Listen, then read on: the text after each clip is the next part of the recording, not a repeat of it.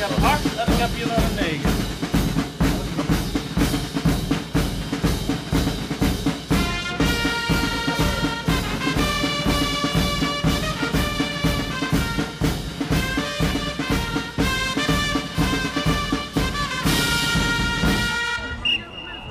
Het is zondag 8 mei. De PSV-spelers zijn waarschijnlijk moederdag aan het vieren. Maar in het Philipsstadion is er gewoon een wedstrijd. Namelijk die van de pers tegen de Kemphanen.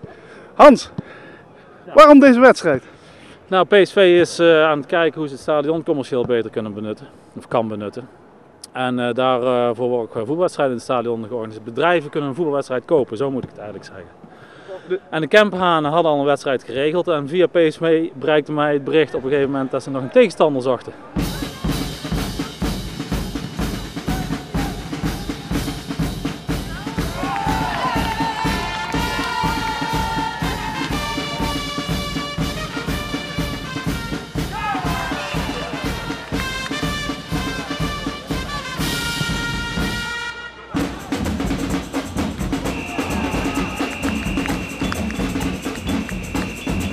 Vijf 1 bij de rust. Wij dachten, er zijn een beetje ijshockeyers, veel te warm ervoor. Nou, het is wel warm, ja, inderdaad. Nee, 5-1 uh, is het geloof ik. En, nieuwste uh, aanwinst. Nieuwste aanwinst. Nieuwste aanwinst. Nee, uh, hartstikke leuk. Het is geweldig natuurlijk nieuwste aanwinst, om hier te voetballen. Wij voetballen één keer in de week. Hartstikke leuk ook op zondagochtend, dus dit is ideaal voor ons.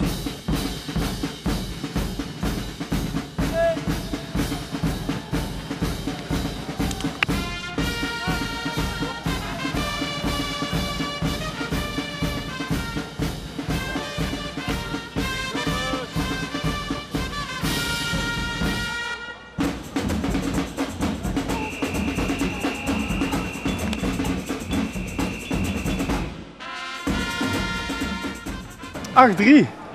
Wat is de analyse? Ja, ja, wij domineerden de eerste helft overduidelijk natuurlijk. En uh, ja, we hebben ze ook een beetje op conditie gepakt en de snelheid de eerste helft. En daarna hebben we een beetje de wedstrijd uitgespeeld om ze toch nog een beetje een lekker gevoel te geven. Ja. ja, ik, volgens mij heeft Tommy toch een heel andere wedstrijd gevoetbald dan ik. heeft hij sowieso. Nee, we waren duidelijk bovenliggende partij. Prachtige combinatie voetbal, positiespel, goed. Uh, mooie verdeling, oud, uh, jong, nieuw. Uh, nou, we verzennen het allemaal maar. En uh, ja, alleen ons scorend vermogen was wat minder vandaag. Misschien toch de klimatologische omstandigheden. de twaalfde man op de tribune waar we wat last van hadden. Het publiek was toch wel tegen ons, hadden wij het idee. En ja, dat heeft erin geresulteerd dat we uiteindelijk toch met 8-3 gewonnen hebben. verloren hebben.